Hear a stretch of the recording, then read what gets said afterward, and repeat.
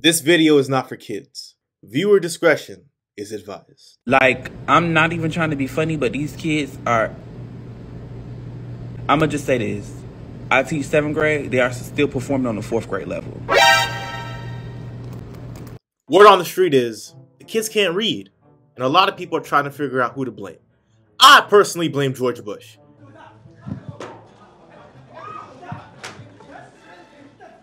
To be honest, you could really blame most things on George Bush. Illiteracy, poverty, the reason why boba prices keep going up. Look at this. These prices are getting outrageous. But in all honesty, I have no idea why this is the case. Maybe it's because of the panoramic, the chemicals in the paint, or maybe it really is George Bush. I really don't know. But what I do know, when I was a kid, I loved to read. A little unknown fact about me is that I was in ESL when I was a kid. For those of you who have no idea what I'm talking about, I'll tell you. Basically, ESL stands for English Second Language, and it is meant for kids who speak English as a second language and have trouble reading, writing, or speaking English. The funny thing about me being in this program is that I had none of these problems whatsoever. The only reason I was in ESL to begin with was that my parents checked the box saying I speak a second language at home. Which I do.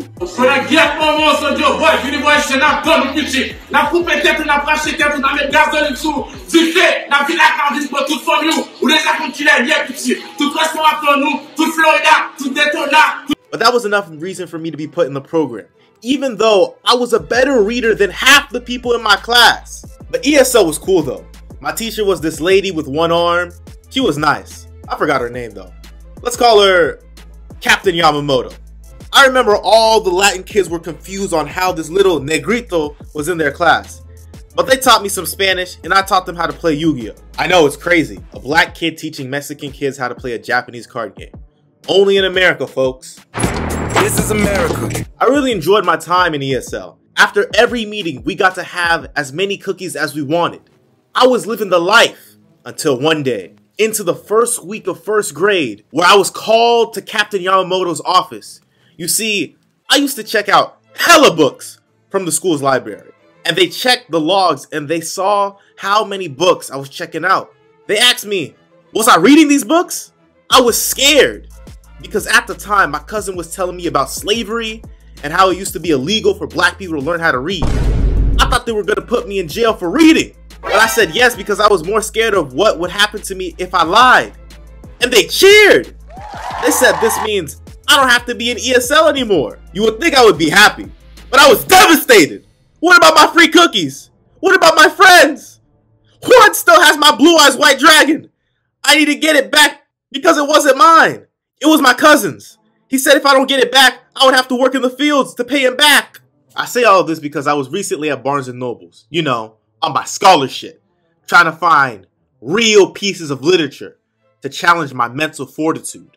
I'm lying. I was in the manga section. While I was in there, I remember seeing all these TikToks saying the kids can't read. And I realized, I got a godson who's a child. Maybe I should get him a book for Christmas. So I was strolling down the children's book section and I realized they don't make children's books the way they used to. And then I started reading them in the store. And I realized why they don't make children's books the way they used to. Because children's books back in the day, they were a little unhinged. And let me tell you how. But before we start, please like, comment, and subscribe because a brother's trying to make it out of the trenches and afford boba. But don't forget, and let's get back into the video. First, we got If You Give a Mouse a Cookie. I loved this book when I was a kid, but I realized that this book was very haram. Let's start with the title. Why are we promoting the feeding of wild animals to our children? Do I have to remind you of the mm-hmm. Harambe incident of May 28, 2016. Rest in peace to the GOAT though. Also, cookies are worse than crack. Don't fact check me on that though. I got that from Gwyneth Paltrow. And would Gwyneth Paltrow ever lie to us? If that wasn't enough, this kid is an absolute pushover and can't say no to a filthy mouse.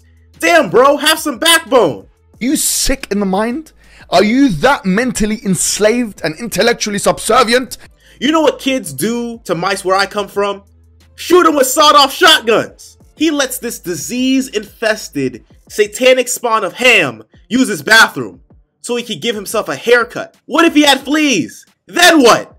You let a new outbreak of bubonic plague run rampant for what?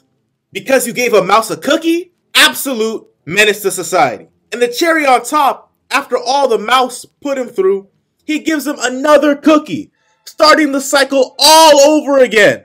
This be the reason why we can't have nice things in our society. This book is teaching our children the wrong values. Next, we got Charlotte's Web. Another classic and another one of my favorites. This was the book that made me realize to never judge a book by its cover. Because if you never read this book before, who would you think is Charlotte?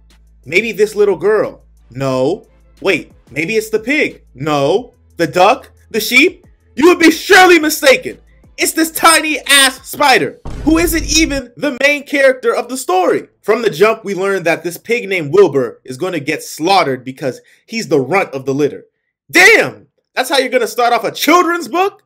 I mean, I saw my grandma kill my pet goat when I was five, but that's besides the point. Rest in peace to Pikachu. I think about you every night and day. Later on, Wilbur meets this spider named Charlotte. Charlotte and Wilbur become friends, and Charlotte explains that she is a writer of words in her web. She promises to help Wilbur avoid being slaughtered by coming up with a plan. At the county fair, Charlotte creates a web that attracts attention. Wilbur is the one who takes credit and wins a special prize, and the family that was going to slaughter him two minutes ago are proud of their pig. Okay. Side note, why did these people believe that a pig can spin webs when the more obvious answer is that it was done by a spider? But it's a children's book, so minus two points for suspension of disbelief. After all of that, we find out that Charlotte is pregnant. And my only question is, Charlotte, you be fucking? You pick up your palette knife and then work that into meat. Give your meat a good old rub. That's it. Nice and hot. Hot and spicy meat. yeah, boy. That's it. That lovely? Charlotte also says she's going to die when she gives birth, but her children will return to the farm with Wilbur as he agrees to look after them. So, what's the moral of Charlotte's Web? I don't know. Stop eating swine. It's bad for you. Attention to watchers of this video. Smiling Observer is calling upon you to like, comment, and subscribe. Please. It's free, and he has to get out of the trenches soon. So what are you waiting for? Subscribe already. Uh, if he's not suffering from chronic procrastination or his boba addiction, uh, then he's making amazing videos. Uh, Smiling Observer will be back. Moving on, I want to talk about Diary of a Wimpy Kid. You best believe when the Scholastic Book Fair came around, I was the first one in line to get these books. Even though I only bought these because the cool kids read Diary of a Wimpy Kid. But never mind that. I'm not gonna lie, I should have put this man Greg in my Masters of Instigation video. You should check it out. But this man Greg is a menace to suburbia. Where do I start with this sociopath? How about how he consistently manipulates relationships for personal gain?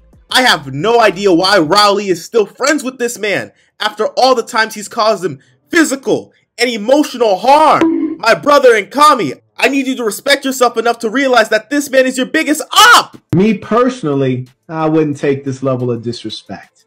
But to be fair, the entire family is dysfunctional. Like Roderick. There was this one time where Roderick traps Greg in the basement and hosts a party, creating a mess that he inevitably needs to clean before his parents return. As expected, he coerces Greg into assisting him with the cleanup. Eventually, Roderick wrongfully accuses Greg of an incident and reveals a humiliating secret to everyone in their social circle. He's the worst brother ever. And don't get me started on the parents. They're blind to everything that goes on in their children's lives. And Manny, let's just say if you say Manny's name three times, bad things will happen to you. Manny! Up next, we got There Was an Old Lady Who Swallowed a Fly. The book's title is self explanatory. It follows the exploits of this old lady who's a certified eater and swallows everything in her path after she swallows a fly. You would think that she would just go to the doctor, but you would be dead wrong. She basically starts a whole ecological disaster in her stomach that would put Australia to shame. She swallowed a spider to catch the fly. She swallowed a bird to catch the spider. She swallowed the cat to catch the bird. She swallowed the dog to catch the cat. She swallowed the goat to catch the dog. She swallowed the cow to catch the goat. She swallowed the horse to catch the cow. And then she died? What in the name of Kirby did I just read?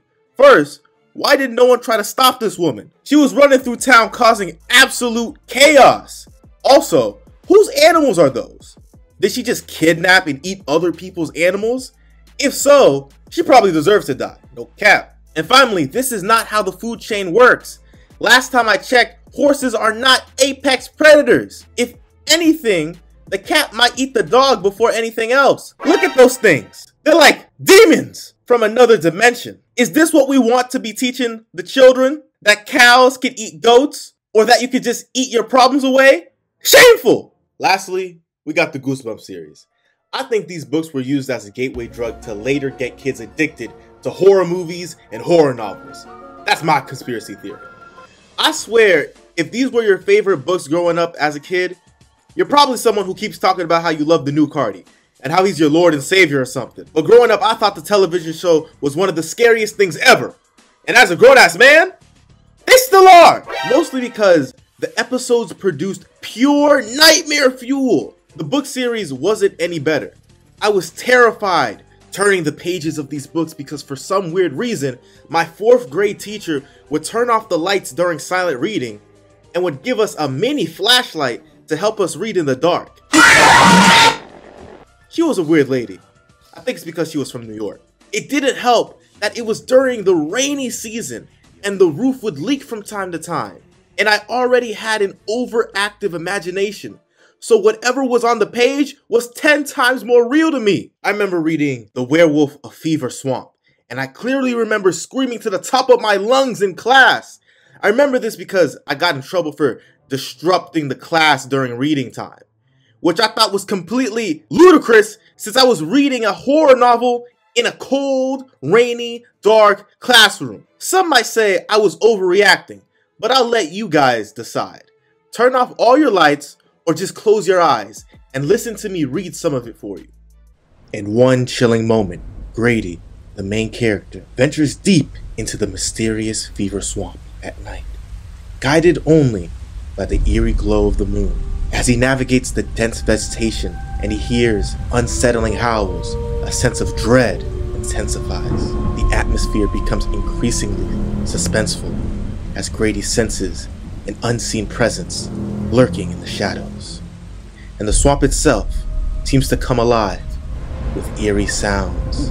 As Grady gets deeper and deeper into the swamp, the noises get louder and louder until they stop suddenly. And then Grady sees it.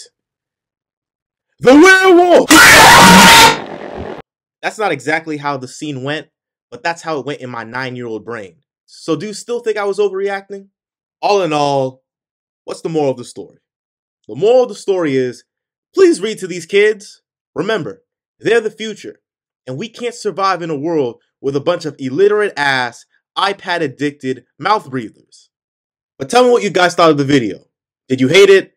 Did you love it? Tell me in the comment section below. Also, a big thank you to every new subscriber. You guys are the best. We are two for two in engagement from the last two videos. I got something in the works to show my gratitude to all of you. This isn't possible without viewers like you. So thank you. And I hope you guys know how much I appreciate y'all. Like always, don't forget to like, comment, subscribe, hit that bell, and I'll see you in the next video.